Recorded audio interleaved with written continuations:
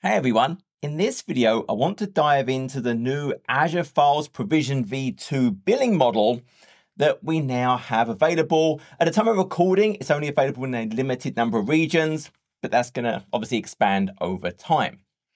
Now, Azure Files is one of the core services we get as part of a storage account, along with blob, queues, and tables. And there's a number of different offerings and types that we can have. Now, for the standard or hard disk drive based tier, we normally pay based on the consumed amount of capacity and the number and the type of the various transactions we perform.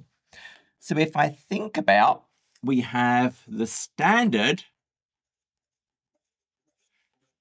so that's the hard disk drive. This is pay as you go, uh, consumption based, which is what we're used to. So the idea here is what I pay for is the capacity I'm using, and then I pay for the number of the various types of operations. Now, the amount I pay varies on the specific type of operation. For example, a write operation, a list operation costs significantly more than something like a read operation. And there's some other types of operations in there as well. This is very similar to the blob model. And additionally, I can specify a tier. And the tier gives me that ability to balance, well, what's the amount of capacity I think I'm going to use compared to the operations I'm going to perform against it. And if we actually jump over and we can take a look at the pricing page, we can see exactly that. You can see we have these three different tiers, transaction optimized, hot and cool. And really the hotter it is, I pay more for the capacity, but then I pay less for the transactions I perform against it. And you can see here that those write and list transactions cost significantly more than things like a read transaction. And what actually happens very commonly is customers run hotter, so they pick a, a, hotter tier than they actually need to be. Additionally, because I can have an unlimited number of shares in a storage account, I only get storage account level metrics, i.e., I can't see at a per share level what the number of transactions are, which can make it difficult to know exactly what I need and what I'm doing at a share level. Additionally, because I can have an unlimited number of shares, technically I can overcommit the storage account. If I create too many shares in a storage account, then what I think I might be able to achieve with a share, I can't because I'm maxing out that underlying storage account. And so that pay as you go can be challenging for customers because it's very hard to predict the costs because it's going to vary based on what I consume it also can be very hard to estimate. Typically, what has to happen is I deploy to it, I let it run, so then I can see, well, how many and what are the types of transactions I'm performing to work out what my bill is going to be. Because as a customer, I'm not really used to understanding a write transaction, a list transaction, a read transaction. We're more used to seeing things like IOPS and throughput. So that's the, the standard, the pay go for a regular Azure File Standard share. But then also what we have is a premium offering. So if I go and think about the premium offering, this is based on SSD type storage. And what we have with premium is it's provision based billing. And we'll call this actually the provisioned V1 model. And what I do here is I pay for the provisioned amount of capacity. So my bill is the capacity provisioned. Hey, I want a share of 500 gigabytes. And what happens here is I get a corresponding amount of IOPS and throughput based on the capacity I provision. So if I think about, I tell it the amount of capacity I want, well then the amount of IOPS I get and the amount of throughput I get scales linearly based on that capacity I provision. So I'm not paying for the amount of capacity I'm using. I'm not paying for the amount of IOPS and throughput I'm using. I pay for the amount I provision. And that's really a key point about this. And essentially that IOPS and throughput, the documentation goes through the math, but it's just a multiplier of the provisioned amount of capacity. And what can happen here is I might create a share significantly bigger than what I actually need because I need the associated higher performance. So this is a lot more similar to the Azure Disks type model. But a huge benefit here is I know what my bill's going to be. I know exactly what I'm paying for because I'm provisioning that amount of capacity. And because it's directly linked, I know the performance I'm going to get but a downside of that is I may pay for a dimension like capacity or even IOPS that I don't need. Hey, maybe I need a lot of capacity, but I don't need a high performance. Well, I'm getting a high performance. Maybe I need a high performance, but I don't need a high capacity when I'm getting a higher capacity. They are directly linked together. But at least I know exactly what my bill is going to be. So what we have now is a new V2 provisioned billing option. Now today, this V2, go over here, only applies to the standard. So now what I've got is my provisioned V2, but it is only that standard, the hard disk drive. But I'm going to say today because absolutely, this is something that's going to get planned for premium as well. I don't know exactly when that's going to be, but expect to see this expand into the premium world. And uh, what you might guess is what this is going to do is now I get independent dials for the capacity. I provision. So that's a big difference here. I tell it the amount of capacity I want to be available. I pay for that provision capacity, not the amount I'm using. I'm also paying for the provisioned amount of IOPS and the provisioned amount of throughput. But these are independent dials. There is not a direct correlation between the capacity and the IOPS and the throughput. I individually, when I go and create one of these shares, I say the capacity I want, uh, the IOPS I want, and the throughput I want. Now, these are dynamic. I can just go and change these whenever I want. But if I increase those numbers, I have to wait at least 24 hours after I increase to be able to scale it back down again. So just a, a key point about that.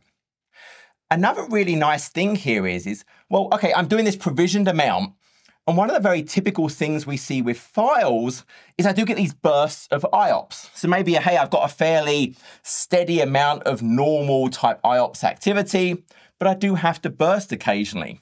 So one of the great things I get with this provisioned V2 model is the ability to burst my IOPS.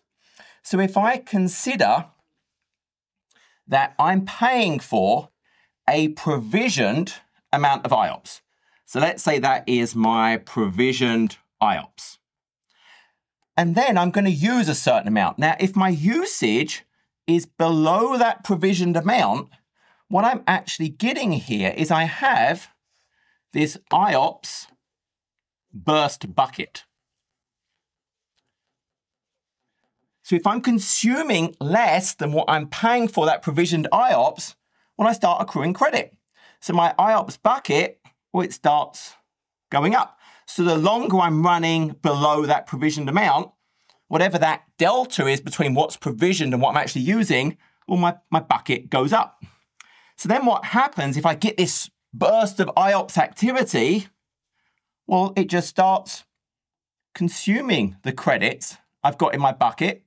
And maybe it's just a little bit of burst. It will just keep being able to go on a best efforts basis above that provisioned amount as long as there are credits left in my bucket. So this is really useful when I do have those unanticipated peaks. And I can actually track it. There's a per share metric, burst credits for IOPS, so I can track what's in that IOPS bucket. And hey, I can plan accordingly to that. Throughput is not typically such a challenge, so there isn't a burst bucket uh, just for throughput. Now, to use the provisioned v2, it's something I actually set at the storage account level. So when I create the storage account, I have to tell it, hey, I want to use the provisioned v2 types as a storage account setting. And when you do this, what it's actually going to do is it's going to set it to be this um, v2 type SKU, and it's going to tell it to be um, file storage only. In fact, if we jump over super quickly, so if I go and look at my storage accounts, in fact, it was right there in front of me. But if I quickly go and find my storage account again, there it is. If I look at the JSON view, we can specifically see. So what happens here is it's a V2 SKU name type, and the kind is set to file storage. So that means I can only create Azure files, shares within it. Here you can see for the data storage, it only shows me file shares. There's no blob or queue or table. So when I create one of these, and again, today it's in a limited number of regions, but as soon as I select a region that has this support, so I'm going to do West US 2, I have to set the primary service as Azure Files, and it's standard. And you saw as soon as I selected Azure Files, now I get this option. Now I can go ahead and pick provisioned v2, and that will cause it to be one of those v2 SKU name uh, types, and it will set it to be that file storage account kind.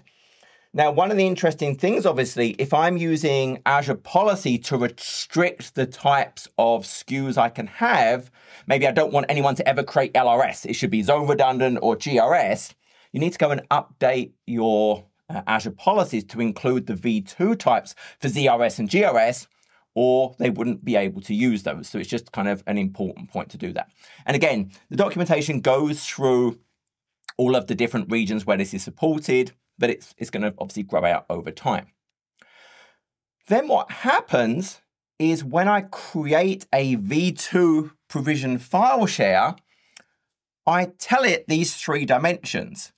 Now, one of the nice things we actually get here is for the numbers, the capacity can be all the way up to 256 tebibytes, so bigger than a regular pay-as-you-go, even large file share up to 50,000 IOPS and up to, um, I think it's five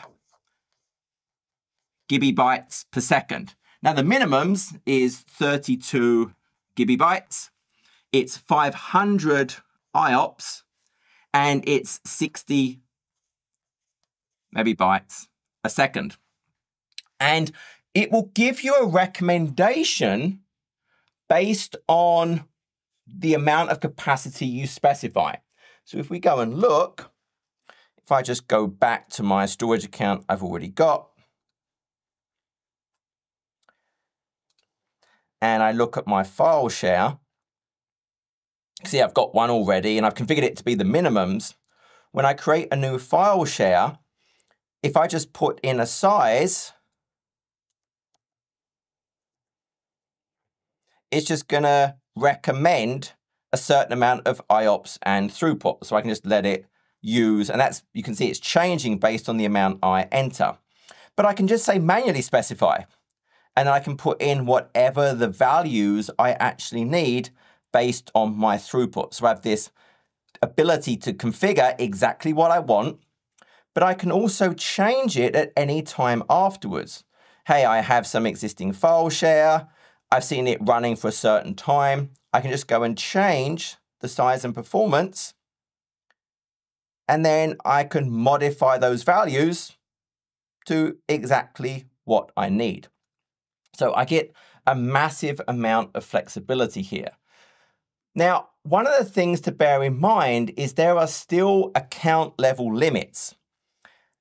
But one of the things you'll notice here is, well, there's a 50 share maximum it shows on the main page how I'm tracking towards those limits. So it's saying, hey, I've got one of 50 file shares created already. I'm using 32 of this massive number of uh, gigabytes that a storage account can support, how many IOPS I'm using of what the storage accounts can support, and the provision throughput of what the storage account can support.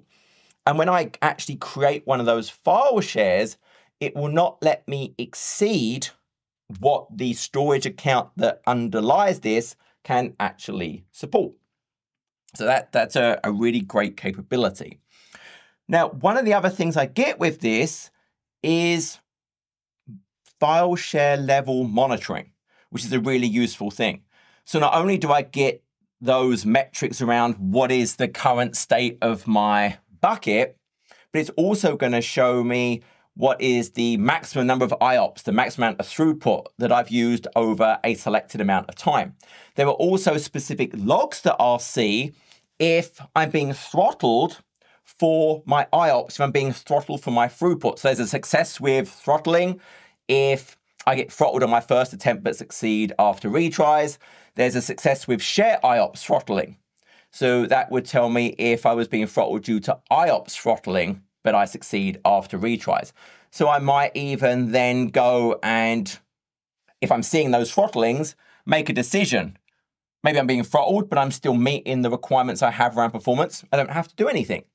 If I'm being throttled a lot and maybe I'm not seeing what I want, or as you saw, I can easily go in and just tweak these dials at any time to get the performance that I want. But I have full control. I'm not going to get some bill that I don't expect, which is a really nice capability with this. Now, today, it is standard only, which means it's an SMB file share. Uh, I can't do NFS shares. That's a premium capability. It does work with things like Azure File Syncs, which actually, this is a really nice option for Azure File Sync, because one of the things Azure File Sync does is for an on-prem file share, there's sort of a, a journaling log. It knows when things change. It doesn't have that in the Azure file share. So it has to constantly do these list operations. Well, as we saw, list operations are pretty expensive. So one of the things I can get penalized a little bit is when I use Azure File Sync, I get these list operations, so I pay a bit more for my Azure file share. If I switch this provision v2 model, there's no differentiation between the type of operation, it's IOPS and throughput. So I'll actually probably save money in that scenario. So as a customer, where do I land on this? If I want better control, if I want better predictability, then this new uh, provision v2 option is probably going to be the best thing for you. Most customers in a production environment, this is likely going to be the best option. Caveat though, if I have a very small amount of data, if I'm playing around with it, if maybe I just have a file share of a couple of tools on it, then sticking with pay as you go may be better because look at these minimums. So the 32 gigabytes, you don't pay much for capacity. Um, 60 megabytes throughput, you don't pay much for throughput. But the 500 IOPS, that's I think about $20 a month just for that minimum. So if I had a little tools file share, if I say I'm really not using and I had a lot of them, Paygo still may be the better option if it's just that very ad hoc type share. So just keep that in mind. Think about those things. But for most production workloads, and the Provision v2 is going to be the best option. And there is no plan to get rid of the, the pay as you go. So if you prefer that variable billing nature, that's better for your use case, hey, you can just carry on using it. And that was it. Uh, as always, I hope this was useful. And until next video, take care.